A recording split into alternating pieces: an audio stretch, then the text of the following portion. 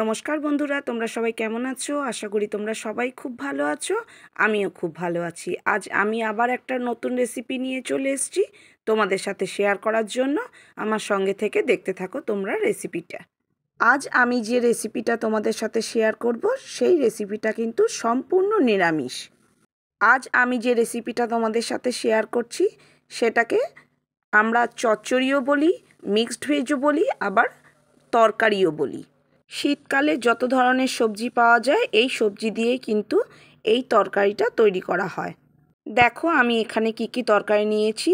সিম নিয়েছি, মূলো নিয়েছি, বেগুন নিয়েছি, মূলোর ডাটা নিয়েছি, ফুলকপি নিয়েছি, ফুলকপির ডাটা নিয়েছি, কুমড়ো নিয়েছি।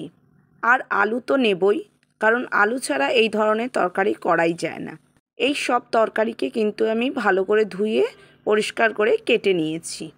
তরকারিটা বানানোর জন্য যে তেলটা আমি গরম করে নিয়েছি, এখানে সর্ষের তেল ও রিফাইন তেল দুটোই মিক্সড করে গরম করে নিয়েছি। ফোড়নের জন্য দিয়েছি শুধুই কালো জিরে। আমার কাছে বড়ি ছিল না, নয়তো বড়িও ভেজে এর মধ্যে দেওয়া যেত।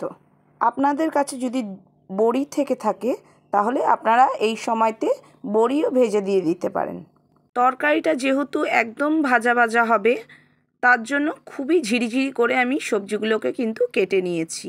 আপনারাও যখন এইভাবে তৈরি করবেন, এই রকমই কিন্তু পাতলা পাতলা করে তরকারিগুলোকে কেটে নেবেন। তরকারিগুলো দেওয়ার পরে কিছুক্ষণ নাড়াচাড়া দিয়ে আমি হালকা ঢেকে দিলাম। ঢেকে দেওয়ার সময় কিন্তু আমি জল দেব না, কারণ তরকারি থেকেই যে জল বেরোবে, সেই জলেই কিন্তু তরকারিগুলো খুব ভালো করে সেদ্ধ হয়ে যাবে। প্রথমবার ঢাকা নামিয়ে আমি এর মধ্যে নুন আর হলুদ দিয়ে দিলাম। ঢাকা দিয়ে তরকারিটা সেদ্ধ করার আগে আমি নুন হলুদটা এই কারণে দেইনি, কারণ তরকারিটা অনেকটাই পরিমাণে হয়েছিল। এই সময়তে নুন হলুদটা দিলে পরে নুন হলুদটা পুরো তরকারিটার মধ্যে ভালোভাবে মিক্সড হতো না তাই।